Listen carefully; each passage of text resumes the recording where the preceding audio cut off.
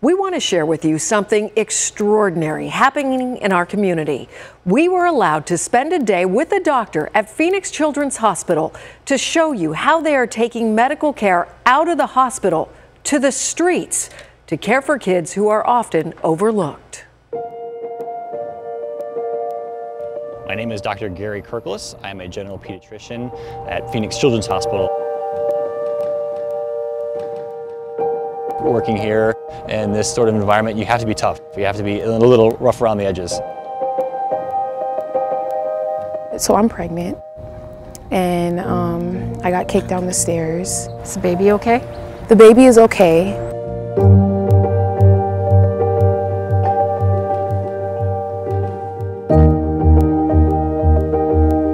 I was in foster systems uh, for a good portion of my life because of my parents passing.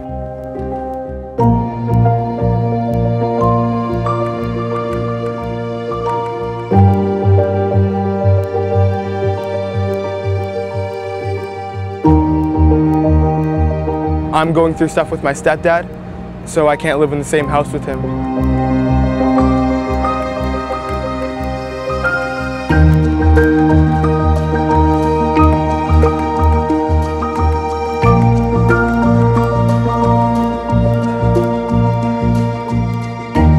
I could be a pediatrician anywhere, but it's with this department that I'm able to reach people who have no access to care. A rare opportunity. We are taking you on board PCH's medical mobile unit.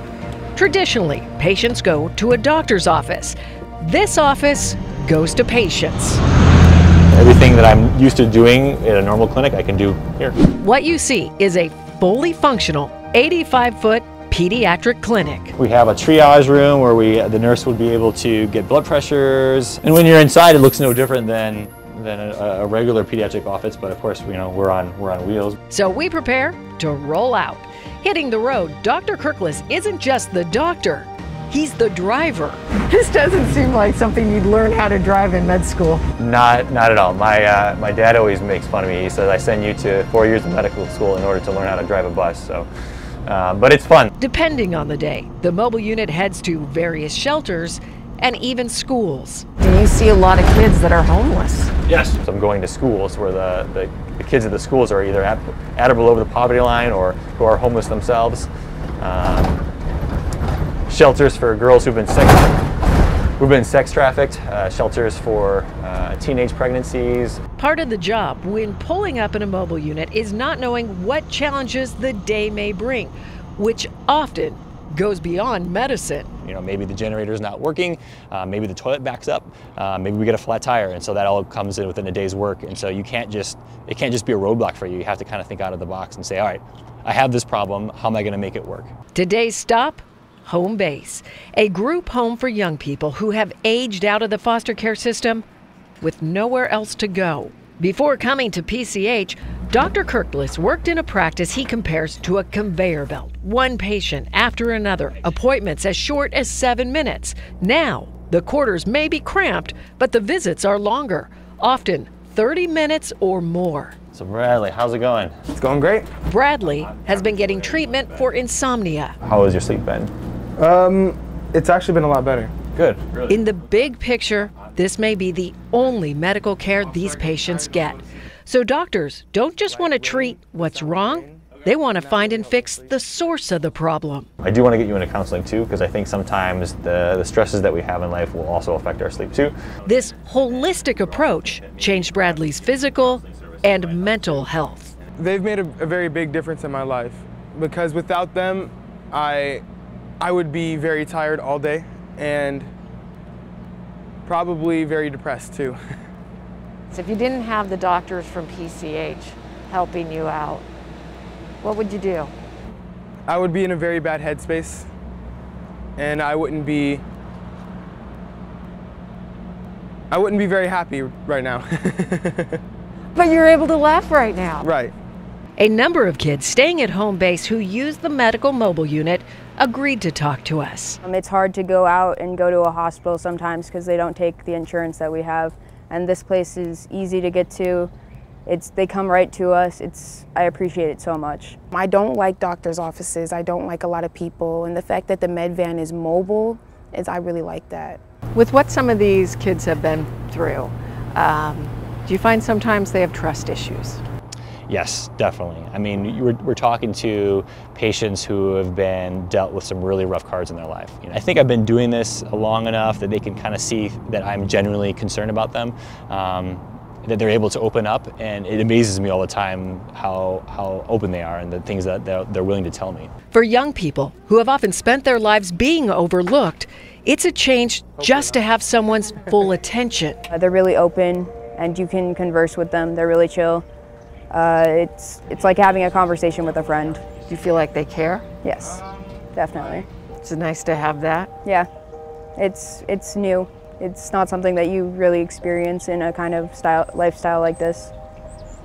They look you in your eyes and everything else is just, nothing else is around. They just pay attention to everything you say. And what kind of difference does that make to you? It makes me feel like somebody really cares. about like your health and your safety and stuff like that. Like they're not here because of the money or anything. They're here because they really care.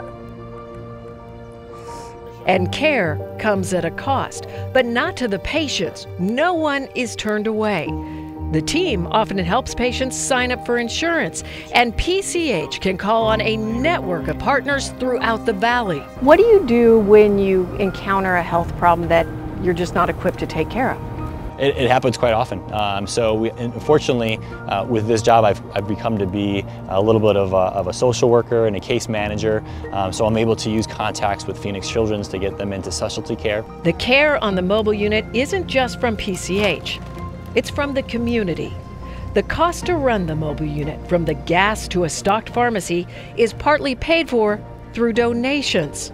A support needed and appreciated more than the people who give will ever know. Yes, this is something that the community pays for. What does it mean to you? People who, who can do that are, are honestly godsends. What would you say to people who give their money to make sure you get health care? You know, not many people, you know, everybody goes through stuff. You know, not many people take time out of their day to think about the unknown, to think about us and just put money so that we're okay and that we're getting checked up on. I would just really thank them. I can guarantee you that if you give to those who are unfortunate, you will feel like a million bucks. After seeing the impact community support makes for the mobile unit, I sat down with the man who heads up fundraising for PCH. Steve Schnall says community generosity is why the hospital can provide world-class care, and a number of programs would not exist if it wasn't for donations.